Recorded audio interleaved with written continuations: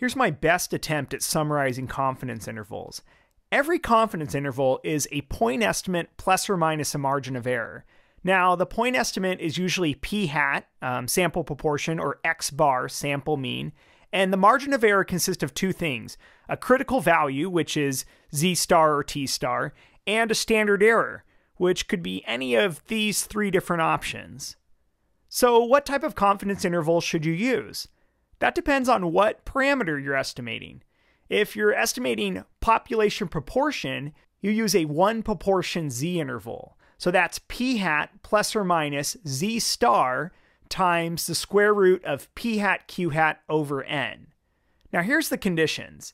First, you have to check that the data is a random sample.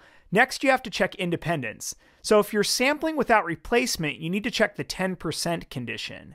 Or sometimes the data is just independent by nature, for example, a coin toss. Finally, you need to check the normal condition. You have to check that NP hat is greater than or equal to 10, so, so that means you have at least 10 successes in your sample, and NQ hat is greater than or equal to 10, so you have to have at least 10 failures in your sample. Uh, note that most of the formulas actually use P, um, not P hat, but if P is unknown, it's okay to use P hat in the formula. After all, it's our best guess at what P is. If you're trying to estimate population mean, you either know sigma or not, and sigma is the population standard deviation. In reality, most of the time you wouldn't know that. But let's say you did know it. Then you could use a z interval. So that's x bar plus or minus z star times sigma over square root of n. In this case, your conditions for random and independent would be the same.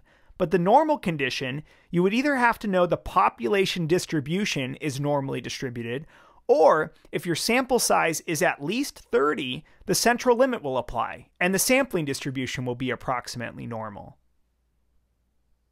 Now, if sigma is not known, if you don't know the population standard deviation, you can still use a t interval. That takes x bar, the sample mean, add and subtracts t star times s sub x over the square root of sample size. Your random and independent conditions are the same as above, but for normal, there's lots of different ways you could meet it. First, if the population distribution is normal, then you're good. Or if your sample size is at least 30 again, you can use the central limit theorem. If your sample size is at least 15 but less than 30, as long as there's no outliers or strong skewness, you can use T procedures. Now, even if your sample is less than 15, if the sample data looks approximately normal, so if it's unimodal, has one peak, and it's roughly symmetric, you're okay. Your normal condition is met. One final note about finding the critical values. To find z star, use inverse norm, and you put the area to the left of your cutoff value, z star.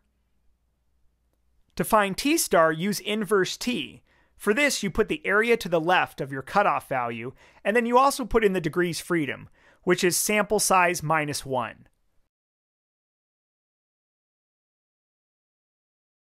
I hope you liked the video, and if you want to learn more about confidence intervals, check out my confidence interval playlist. It starts with the basic concepts and builds all the way up to videos like this. There's also a video at the end that shows you which type of confidence interval to use for each circumstance.